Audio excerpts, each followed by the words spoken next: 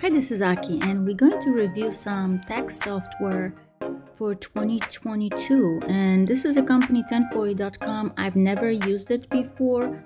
It says for one price, for $25, you can complete the entire tax return. So we will just go and see if that's true. I mean, comparatively to any other software, unless we're talking about free filing software it's pretty good deal. It has some tax calculators on its website that you can put in some information to figure out where you would stand for the year. There's some tax guide information. You can also track your refund, but it's pretty much just going to IRS website where's my refund.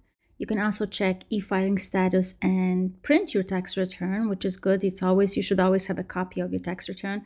When you click on pricing, it says it says $25 for everything, flat rate for all the forms. And it also says that state is included. So we will see.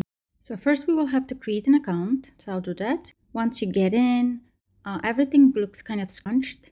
So you can just use the command plus to zoom in or control plus on PC. Now it says again here 25 for all forms, credits, deductions, state returns, everything. Now they do specify that there's two products that will try to sell it to you if you want to pay for the tax return with your refund and there's also audit protection but it's optional you do not have to purchase them next now we're just going to ask us some question now i like whenever tax software provides you wizards so you can use it to figure out your filing status and this one does and answer some questions and basically figure it out if you qualify let's say for head of household if you have dependents and so on. I know I'm single, so I'm just going to click that. Now I'm just going to put all the information, name, social address, and so on. And this is all dummy information, so don't get too excited.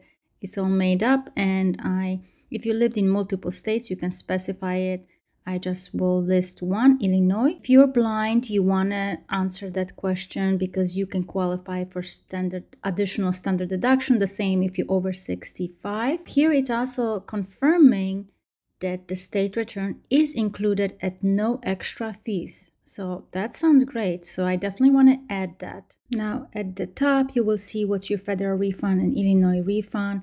And it tells you that after answering some questions, guiding you you'll be able to e-file your tax return. On the left, you are have option to basically review anything you enter. Now I like how I don't have to go through each screen individually, but rather have everything that I've entered already there. Can click on federal taxes, income, dependents, deductions and credits, and dependents. They also have a wizard help you figure it out if you can claim a dependent or not. Then under deductions and credit, you have different categories: healthcare, other tax situation, and then a review. So we're going to enter our W2. I have to put all the information. Now, right now, you can see that there's an error somewhere because I can't go on, but it doesn't tell me that the EIN number basically, it should be nine digit, but it's not. So, you know, some of the error checking was questionable in the software. I made an error on the W2 and it was not able to catch that. So, I do want you to be cautious. Make sure you double check information. Now, I figured this out, but not everyone maybe would know that. You have to put all the information here. Another thing is everything was manual, there was no calculation. So, what happened is for my Medicare wages, I entered 1400 and it was not able to catch that. And so, I'm going to manually enter everything, even though some software they do have pre calculations for you and then you just have to double check and verify everything is correct. You have to enter if you have anything in box uh, 12, like I have a 401k, so I contributed $500 pre tax. So you want to put that. If there are any check boxes in box 13, I have retirement plan in my company, so I have to list that. Then you provide your state information if there are any withholdings based on your wages. If you have multiple states, you can list that there as well. Now here an entry was entered, something is wrong. So it did provide me an error because I didn't put state ID number, but it doesn't seem like it catches all the errors. If you have additional W2, you can enter it here. And then you have all these subcategories, interest and dividends, investments, business like uh, 1099 NEC or 1099 miscellaneous, Schedule C, retirement income, other income. But I also found that easiest way to find certain things actually is by just going to help and just searching for the specific form or you just can type a couple of words to find the information you need. And now I'm going to enter the 1099 interest. So I have $100 of interest, which would be great, but let's just keep it simple.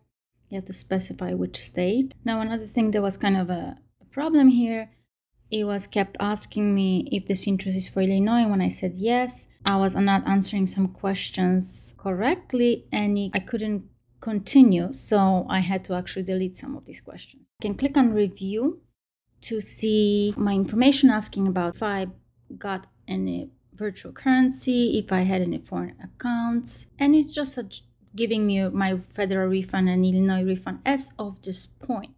It's not complete, I still have plenty of documents to go through. Now, if I click on review, I can also see all these federal form listed right now. I wish you would just like I have a summary of what's the amount, but you can find that what you already entered. And if you click on each of them, you can go to that information. And now I like it how now I can see all the fields that I filled out instead of one by one. So now I'm going to enter my dividends. And sometimes interest and dividends could be in the same section, so you have to answer no, I don't have any more interest. I want to enter that 1099 dividend income. And I have a pretty simple dividend, just 250 of ordinary dividend and 150 of qualified dividend and nothing else under 1099 div. Now this was another set of questions that was kind of prompting me that I'm doing something wrong but it was not obvious. I had to just put zero as the income from Iowa, but it was not really clear that I had to do that. Now I'm going to look for sell of stock and I could just, you could see I could just type in stock and then the 1099B came up so I can select that so that's easily found. Now you want to make sure you put in the information exactly how it is on your statements. Now this software did not have the ability to import your W-2s. It did not have ability to import 1099 div or B, which sometimes can be very extensive form and it can be confusing for taxpayers. Sometimes it can be a lot of pages. Like if you got the 1099B, you want to look at the summary page if, if you have like hundreds of pages of transactions. So it is really helpful when the software does it for you, but this one didn't. Now you want to provide the description of the property, now, long term stock, now let's say I'm selling 100 stocks of XYZ. If I purchase 50 at one time and another 50 at another time, then I want to make sure I select the right option here. Now, you want to provide the date of sale as well as how much you sold it for and then cost information. If you don't have cost information because maybe it has been many transactions or maybe it's very old, you can use Yahoo Finance to find that information and try to find some of your old statements. You definitely don't want to leave it zero because obviously you paid something for it because then you'll be taxed on the entire amount that you sold it for. If there's if it's a wash sale, you want to make sure you specify it. Now I can still go to the left under my income and see what else I have. I'm looking for unemployment income. I can either use look for it under other income or click help and type in unemployment. And when you do that, I want to show you that sometimes you have two different things show up and you want to make sure you select the correct thing because unemployment is here as just unemployment and then you have 1099G certain government payments. So this one is saying you could have received on 1099G as a form or in other ways. Now on 1099G, that is not only unemployment form, sometimes it's also refund, state and local e-refund. So you want to make sure if you have both, you provide that information here for both. And if you got a refund, you would have to specify whether or not you use the standard deduction or itemized deduction in the prior year because some of it could be taxable. If you had any withholdings, many times when you have unemployment, you have 10% or higher withholdings. You want to make sure you list it here so you get credit for them. And many people who get unemployment, they also have state withholdings. So you want to list that on your form as well. Now, the 1099G may not always look the same way as the IRS 1099G, but it should have all the information. If you want to list the dependents, you can select it. Then you can go to deductions and credits. And deductions credits is also divided into different subsections like home and property, charity, education, retirement, and so on. So you can click on each of these or click help and just search for. And I'm going to look for my educator expenses. I'm a teacher.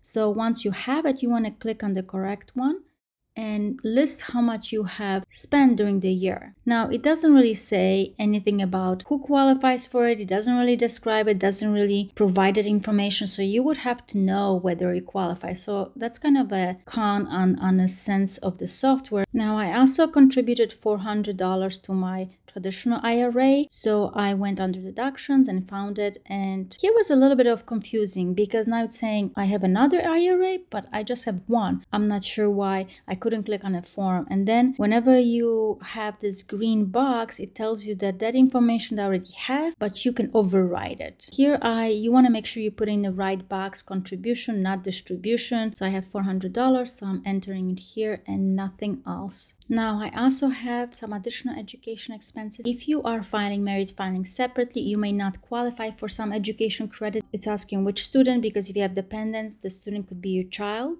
for whom you paid the education expenses. And now it's asking these specific questions about if you're pursuing a degree, if you uh, have any additional expenses to 1098T because there's different tax law if you're claiming American Opportunity Tax Credit versus Lifetime Learning Credit for 2022. Now you want to provide how much you have received that wasn't paid by someone else but that you actually paid. Now, did you receive any tax-free education assistance? Basically, did you get any scholarship? Because then your education expenses will have to be reduced by that amount. It doesn't really show up as a 1098T like it doesn't list which box you can find that information. So I wish it did that. It would be more helpful to taxpayers. Now here I didn't like how, based on what I told the software, the lifetime learning credit is the credit for me, but it didn't select it for me. It still gave me the option to opt to the American Opportunity Tax Credit, which some taxpayer can just select because it has a better credit of 2500 versus 2000 so i wish it's just the software smart enough that based on my answers would provide me the credit that I could claim, not which one I want. Now, I also paid student loans, and so I'm going to list it here. I paid $200 in interest. Now the software did use standard deduction which was better for me.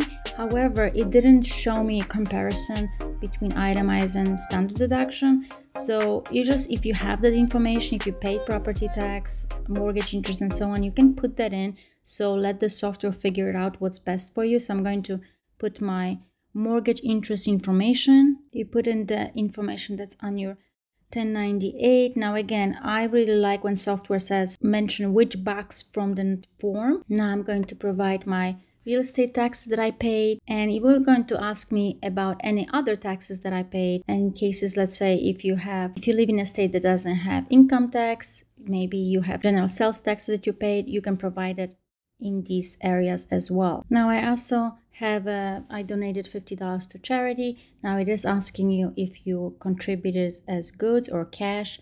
And so you just have to answer these questions as they ask you what kind of donation you have made. Here you can review some of the information you enter.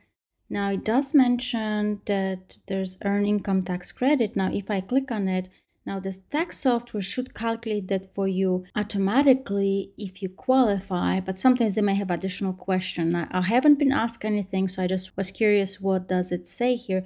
The only thing that it says here, if you have been disallowed this credit in a past, you would have to specify it because then you might have to fill out additional form in order to claim it. Now we're getting to the healthcare coverage. Now I did receive a 1095A from Marketplace Insurance. Now, it's very important to add that to your tax return if you received it because your tax return can be rejected, especially if you receive advanced premium tax credits. So now you need to reconcile it on your tax return. So let's say I just received it for one month in March. It's asking me for policy start and date and for which individual and I just exactly said it but no it wasn't smart enough to know that it's just for March I still had to go through each of the month and find my March. And then I had to add manually into the annual amounts. So a lot of these calculations are manual, so you want to double check your information. Now you can click on review on the left and what I really like is that the list of forms are here. Now it doesn't say the amount, you have to go through the individual. It'd be very helpful if I could just see the amounts that I enter just to skim through it, but I actually have to go through the form. Kind of like gives you an idea, okay, is this everything that I have to report for 2022 so you can skim through quickly? Now it tells me it's moving me to my state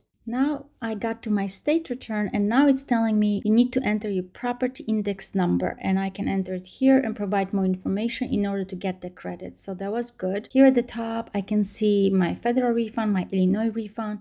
And then I love the fact that I can actually click the free return preview and see a PDF version of my tax return, which is really great. Not all the software lets you do that. And I can view the return and obviously it's not for filing but then you can double check your information. If you're familiar with your tax return you can skim through it if everything makes sense to double check your credits. And it doesn't just show the first two pages. It's actually 35 or 37 pages long. So it provides me review of all the federal and state info now if i click file now it's just saying double checking return, but this was just talking about moving expensive. I'm not sure why. Now here it's explaining the next steps select which returns you want to e-file, how you want to pay for your preparation, how you want to receive your refunds, if you want to e-file or paper file, and then you you want to also print a copy for yourself. And now they're trying to sell us those two products that we mentioned at the beginning audit protection, and then you have to sign your return. And here it tells you, yes, your total is $25 and the state is included and everything is included. All the deductions, all the credits, everything that we went through, it's included $25. I mean, that was kind of really a good deal. Now you can either pay for this with your refund uh, using the e-collect, which is the additional 24 95 or you can just use a credit card, debit card. But it is $25. So that was really great surprise. Now what also was really great here that you can go to your account and you can delete your account. Like sometimes some of the tax softwares, it won't let you do that. The federal refund and the Illinois refund was exactly correct. Now there's some limited error checking. You do want to make sure you double check your work. Otherwise, it's I feel like for simple returns, if you have just W2 and a couple of other statements, I mean $25 for federal and state. It's pretty easy and it's a pretty good deal and I would recommend the software. So thanks so much for watching.